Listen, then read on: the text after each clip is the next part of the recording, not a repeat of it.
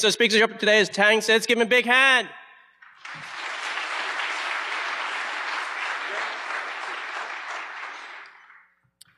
Hi everyone. The title of our talk today is Last Mile Authentication Problem, using which we are going to showcase how one can exploit the missing link in end-to-end secure communication.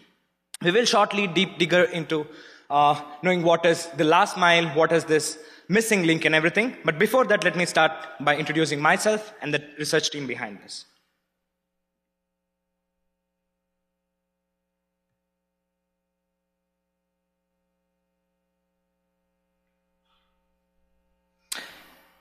I am Siddharth Rao.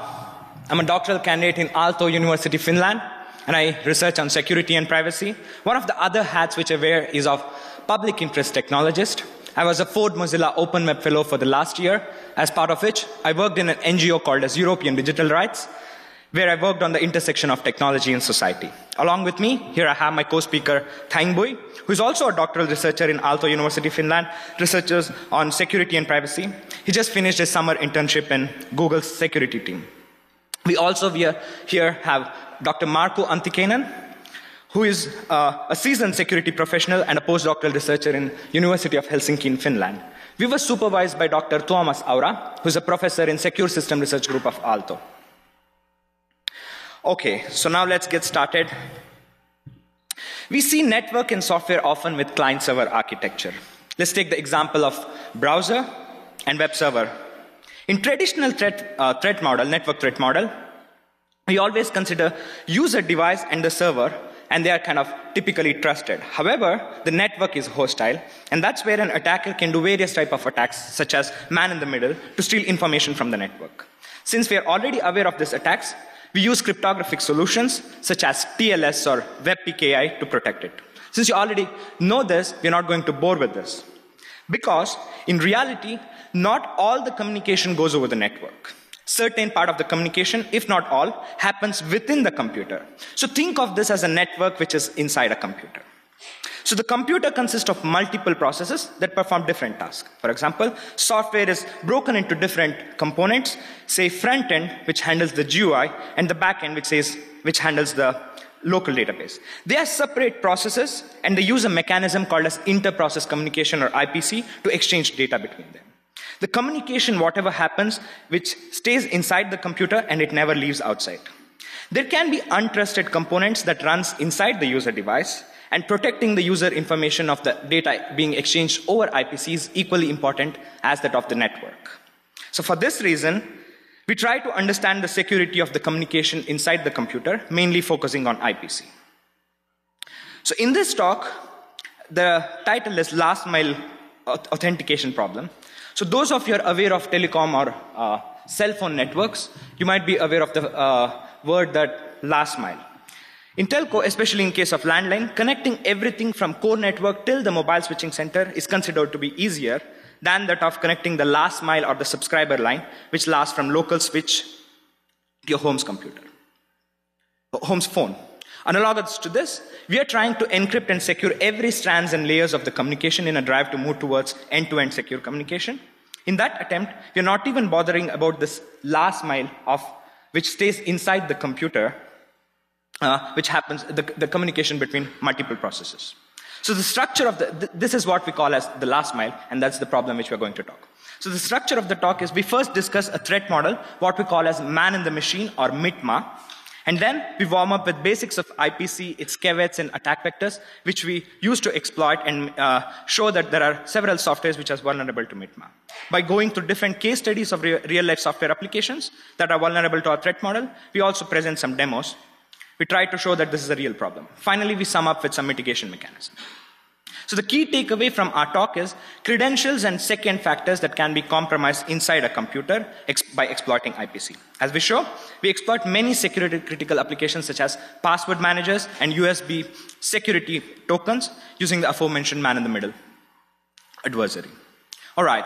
So let's get started. First, let's try to understand what is this man in the machine threat model. Who is this man in the machine? We call the attacker that tried to exploit the IPC inside a computer as MITMA or man in the machine. The attacker can be any unprivileged user that tries to steal sensitive information from another user. The example of potential MITMA attackers include co-workers, family mem- members, and also guest accounts.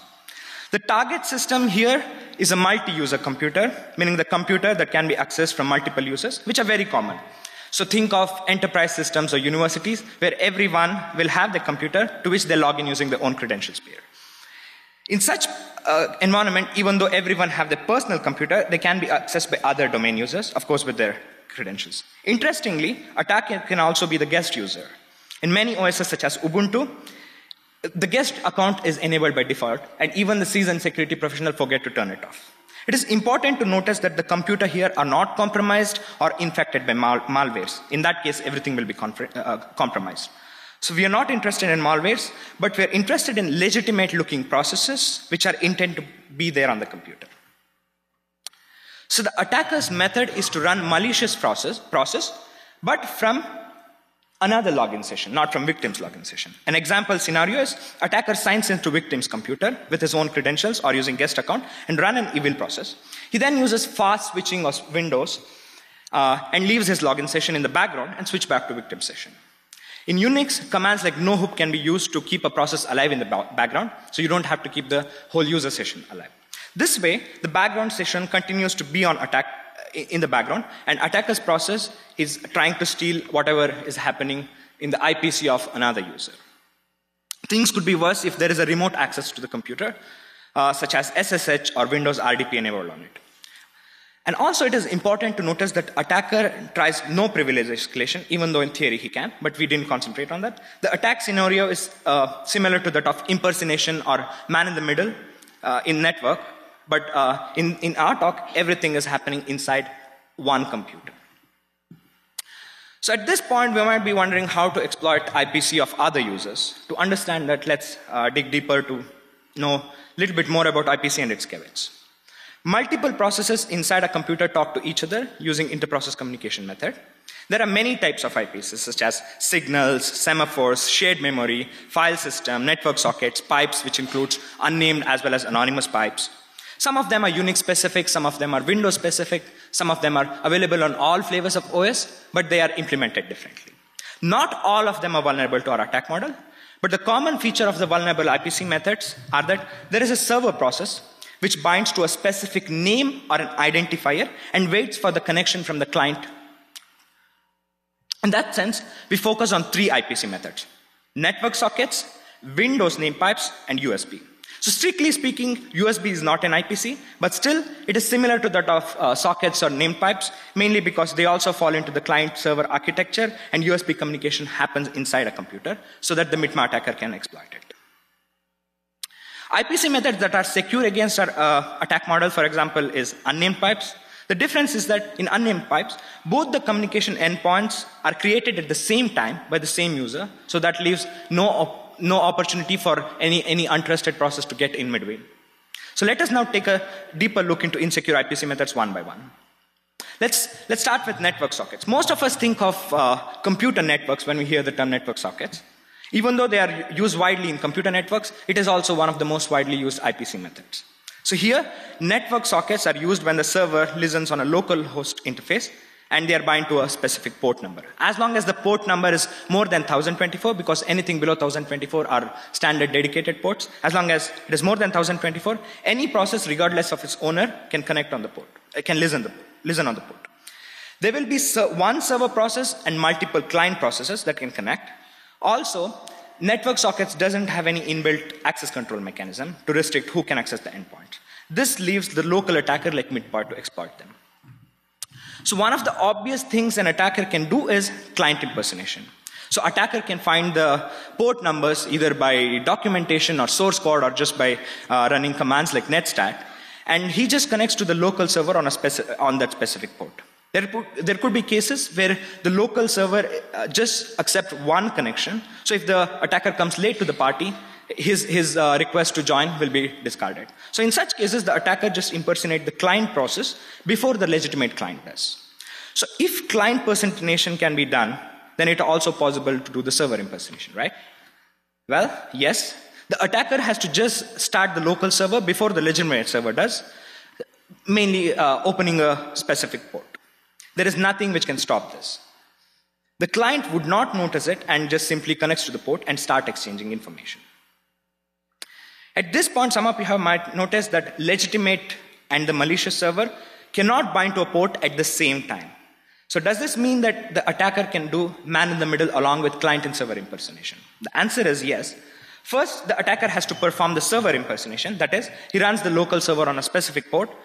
And uh, once this primary port is uh, open, he receives information, he receives connection from the benign client. Many softwares, while running local servers like this, fail over to another port if the primary port is already taken. So this property of port agility makes sense from development point of view, mainly because anyhow these are not standard ports, so it could be the, uh, one of the other process, legitimate process in the computer would have already taken it. So it makes sense from uh, uh, development point of view to have a predefined list of ports where uh, the server switched over to the secondary port. So what attacker does is he takes the advantage of port agility property. And what he does is, after doing this uh, server impersonation and blocking the primary port, he would allow the benign server to fall into the secondary port. And then, in the secondary port, he performs the client impersonation. So in that way, he, he, becomes man in the middle and he exchanges information between the benign client and the server. There could be rare cases where such port agility is not implemented. In such cases, the attacker can switch roles time it well, and exchange the information. It could be slow, but it is still a possibility. So now that we know, uh, know about network sockets on local host are vulnerable to MITMA, how about other IPC methods? Name pipes are available both on Windows and Linux. However, they differ in their implementation. We are interested only in Windows name pipes. In Windows, name pipe have similar client server architecture, client server architecture that of network sockets. So instead of local host, here they are uh, placed in a special path, which is uh, dot pipe, which is in the root directory. And instead of the port number, here pipes will have a specific name. So all users, including guests, have access to this specific path.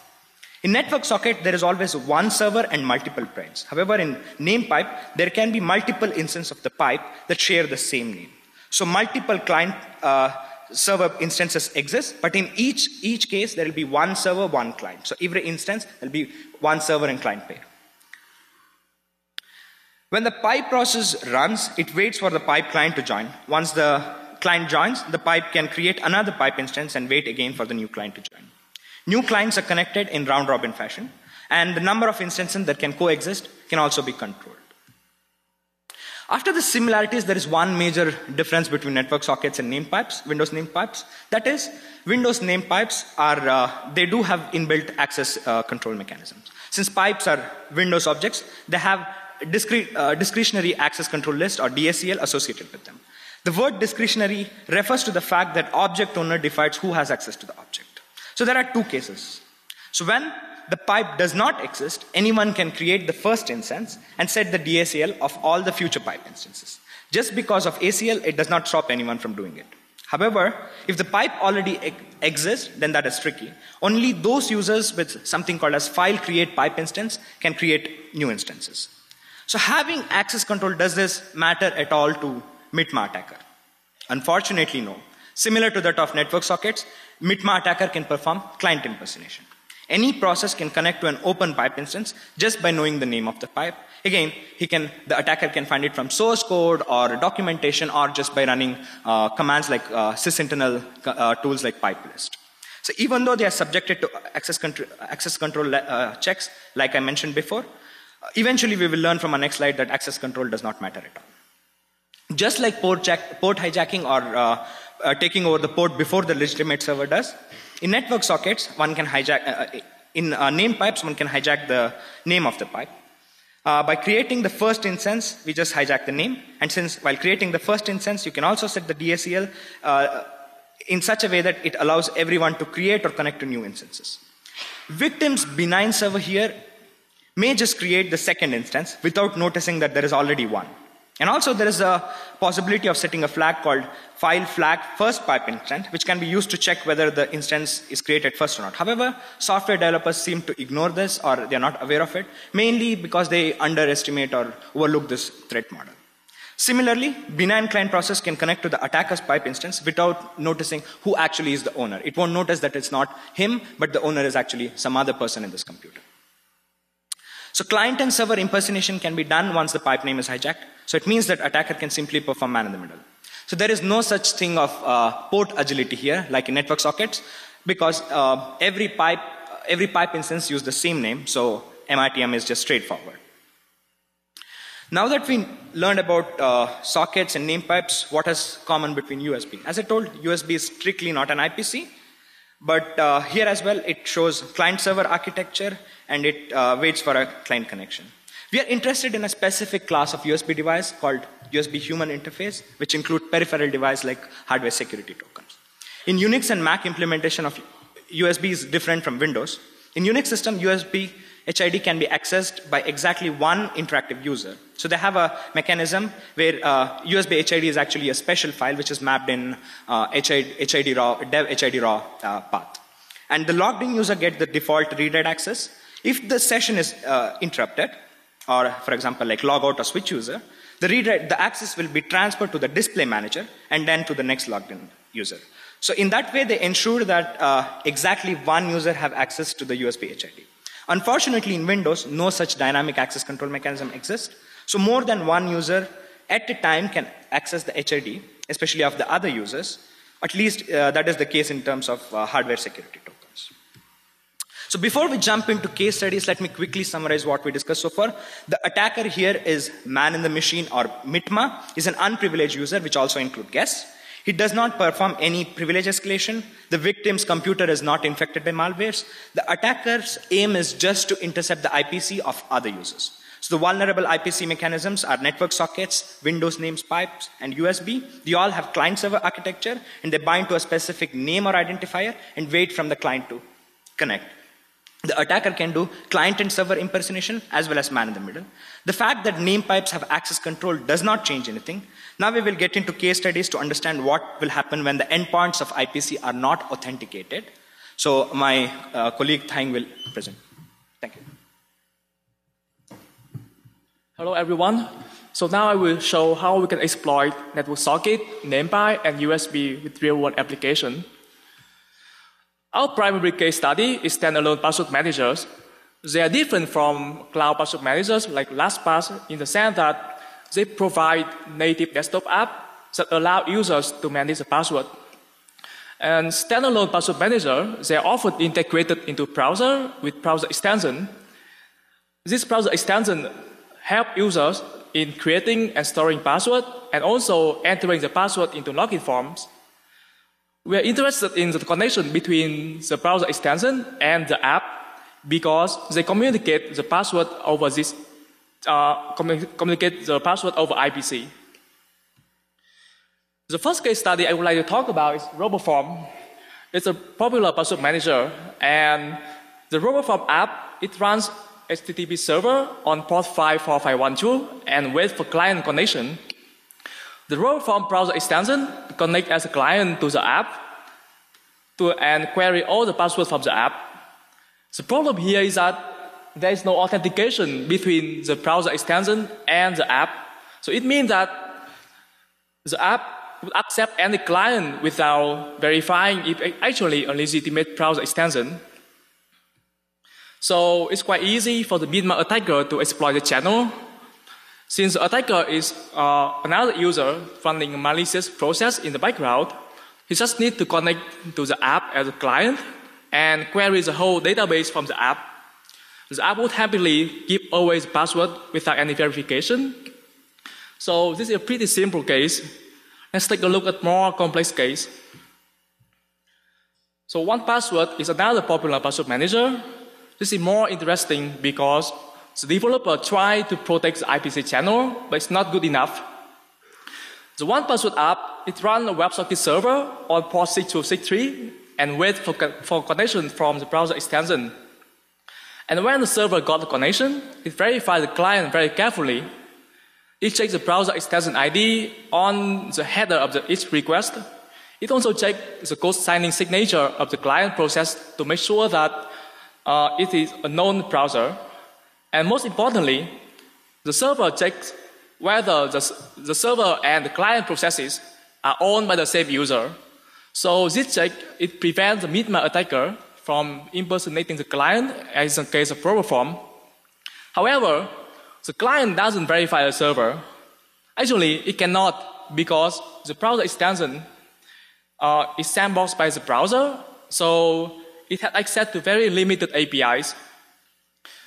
And to compensate for this limitation, the client and the server they run an Ether protocol to agree on a shared encryption key in the first communication, but the design of the, uh, of the protocol is not secure. Let's take a look at the protocol here. So, can anyone spot the problem here with the protocol?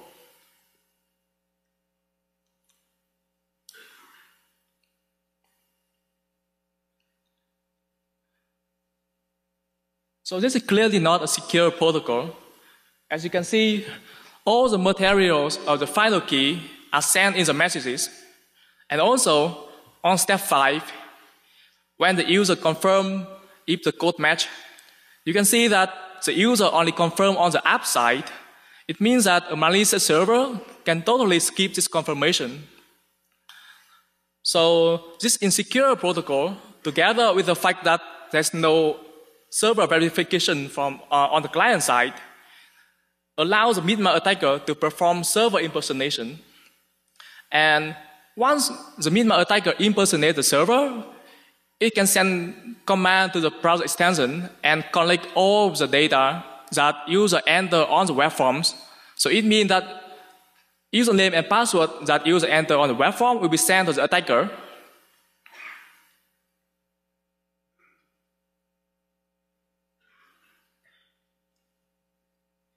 I was supposed to show you a demo, but because of the technical problems, and I cannot really show it. But uh, it will be on YouTube for anyone interested. So, Password Manager also use a, uh, a channel called native messaging to communicate between the browser extension and the app. So native messaging is standalone, is a standard browser's built-in method that designed to provide more secure alternative to network It has been used by many applications, including Password Manager. So how native messaging work with Password Managers? First, the password manager need to register an executable called native messaging host with the browser and allow only its browser extension to communicate with its host. And when the browser extension want to communicate with the native messaging host, the browser will run the native messaging host in a child process and communicate with it using standard input and output stream. This way, the mid-malware attacker cannot get into the middle and intercept information on this channel. So the question here now is, is native messaging a complete solution for password managers? Well, the answer is no, it isn't, because uh, the native messaging host and the password manager app are still two separate processes. So they still need to exchange data over IPC. The difference here is that the native messaging host is not sandboxed by the browser, so it has more options on how to communicate with the password manager app. So let's take a look at another case, Password Boss. Password Boss is a password manager that uses native messaging. And on Windows, the native messaging host uses NamePipe to communicate with the Password Boss app. When the app starts, it creates a NamePipe when wait for connection from the native messaging host. The native messaging host simply connect to the NamePipe as a client and forward messages between the browser extension and the app.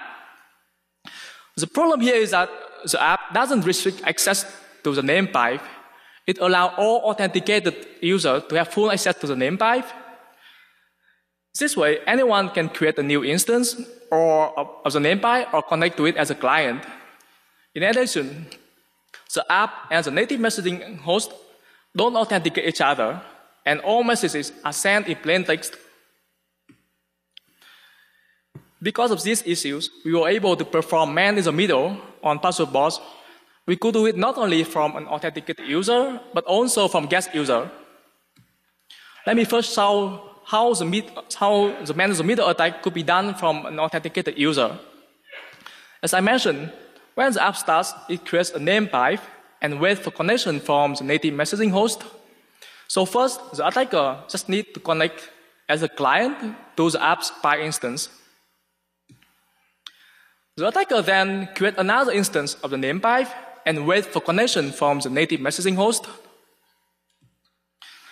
When the native messaging host wants to communicate with the app, it will connect to the attacker's instance because it is the only open instance of the name pipe. So after that, the attacker simply forwards the message between two pipe instances, and we have managed the middle attack.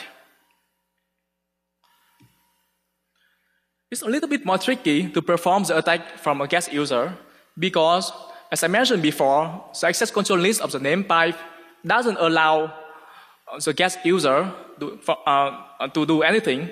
Only authenticated user can create new pi instance or access an open one. So our solution here is by name hijacking. The guest user could create the first instance, the first instance of the pipe and set full access to all users this way, when the app creates its own instance, it doesn't even notice that another user owns the name pipe, and the access control of the pipe is not uh, as it expects. The rest of the attack is the same as attack by authenticated user that I just described before. The last case study I would like to talk about is FIDO U2F security key. FIDO U2F is standard for second factor authentication, and it is supported by many popular services such as Google, Facebook, GitHub. And most security keys implement this standard, including YubiKeys. And even the new Titan security keys that Google introduced a few weeks ago also follow this standard. You can see uh, the, the figure on the right is a simplified protocol of how the U2F security key works. So first, the user must register the device with the online service that it wants to enable second factor authentication. Basically, the device generates a public key pair, and the service will link the key pair, the public key, to the user. And after that, when the user wants to log into the service, the service will send a challenge to the browser and expect to see a response containing the device signature on the challenge. To get the response, the browser will, repeat it, will keep sending the challenge to the device until it receives the response. The device, however, it doesn't automatically sign any request it, uh, it receives. It needs to be activated by touching a button on it, and it only responds to the first request after the touch. So how can we exploit this FIDO security key?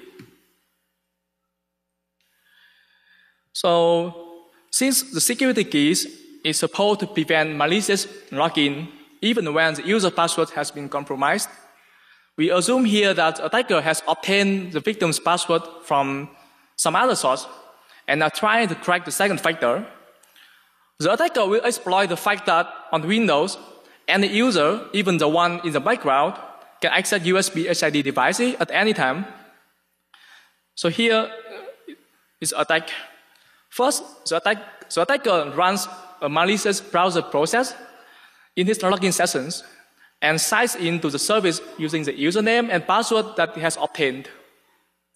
The malicious browser will receive a challenge from the service. After that, the malicious browser will keep sending the challenge to the, uh, to the, uh, to the device at high rate, and the attacker would need to send, it would need to send the challenge to the device at higher rate than the legitimate browser would do to increase the chance of getting the request side. This is easy because Chrome, for example, it sends a challenge to the device every 300 milliseconds. So when the victims sign into any service using the same security key, the victim will touch the button on the device, and there's a high probability that attacker's request will be signed because it is being sent to the device with a very high rate. The user might notice that the first button touch has no effect because it is used by the attacker's request. But such minor glitches are normal in computers and typically ignored. We tested the attack on popular services, including Facebook and GitHub, and we got 100% uh, success rate. So in summary, we have three-tier IPC mechanisms that are vulnerable to mid-mal attack, named by network socket, USB, and we have seen real-world example of how they are exploited. But that's not the only cases that we found. This is a list of the apps that we analyzed and the vulnerabilities that we found. Our focus is on password managers and other login credentials. We also found vulnerability in many other, uh, many other apps. This app follows the client and server architecture. For example, in case of MySQL, on Windows, if the client and the server are on the same computer, uh, the client can connect to the server using name pipe, and we, and we were able to perform man in the middle attack on this channel.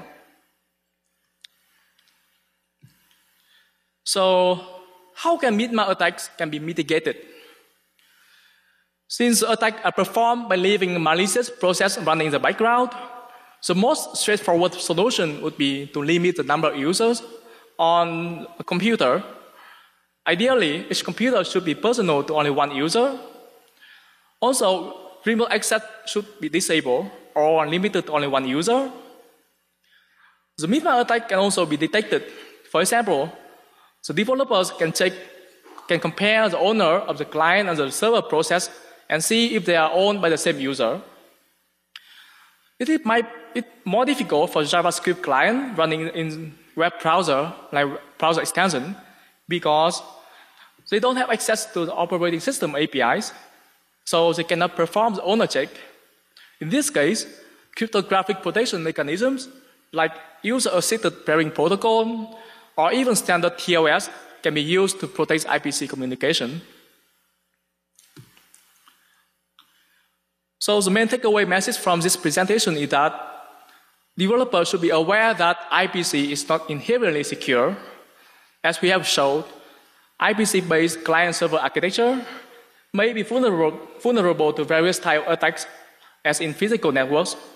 And the attacker here is not just malware, but any user or any process, including guest account. So if you're interested, you can take a look at our Usenix paper. It will be online next week. That's it. Thank you. it and